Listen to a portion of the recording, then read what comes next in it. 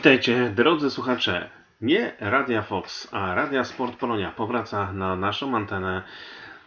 Radio Sport Polonia. A dlaczego Radio Sport Polonia? Dlaczego powróciliśmy do tego projektu? Otóż dlatego, że sport łączy ludzi. Sport zawsze był ponad podziałami politycznymi, religijnymi.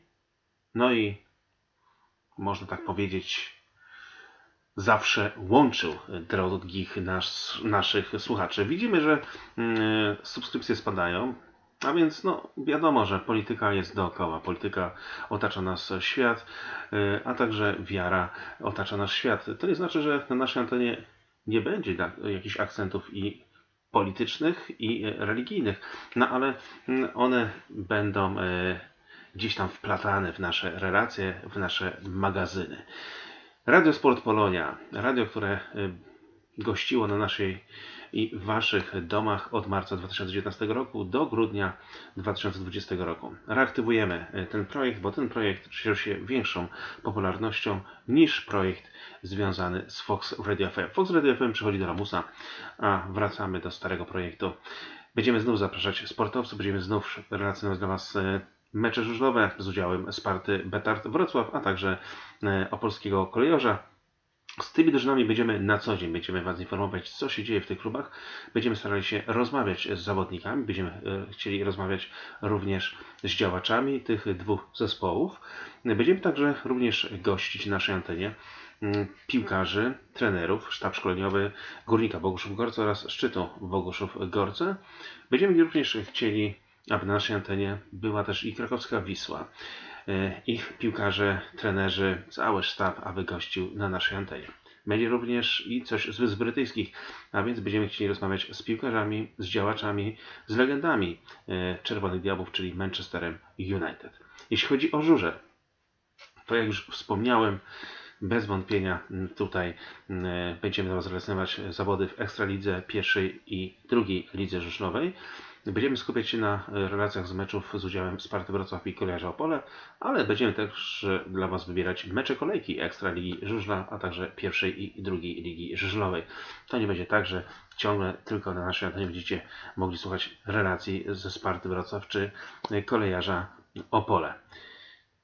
Jeśli chodzi o inne dyscypliny e, sportu, na pewno będzie na naszej antenie również i mowa o naszej reprezentacji Polski. Otóż piłkarze e, naszych orłów przygotowują się do e, eliminacji Mistrzostw Świata w marcu.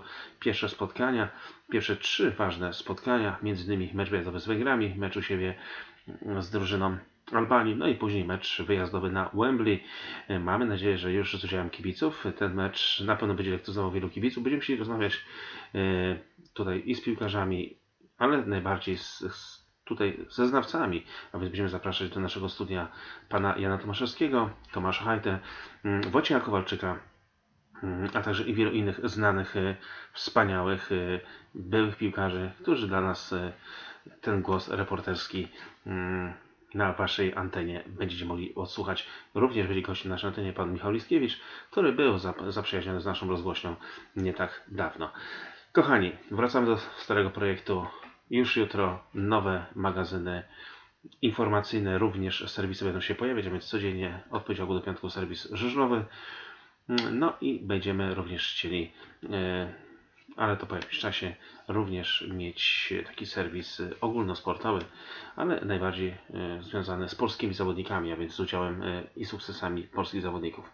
Ale to wkrótce, a na pewno już od przyszłego poniedziałku, czyli od jutra, serwis żużlowy codziennie, godzina siódma, więc do kawy, do herbaty rano będziecie mogli sobie taki serwis żużlowy odsłuchać. Żużlu, można powiedzieć, ktoś by powiedział, no jest y, przerwa międzysezonowa, więc no co tam się może dziać, a jednak się dzieje. Będziemy chcieli gościć na tych y, y, w tych mm, klimatach. No i zapraszamy, zapraszamy Was do subskrybowania, lajkowania naszego, a także wspierania naszego radia. Możecie to dokonać dzięki mm, stronie PayPal. A więc cóż, zapraszamy, nowe intro naszego radia, no i stare logo. A więc powraca stare, nowe, lepsze i miejmy nadzieję, co najważniejsze dla Was lepsze, czyli Radiosport Polonia.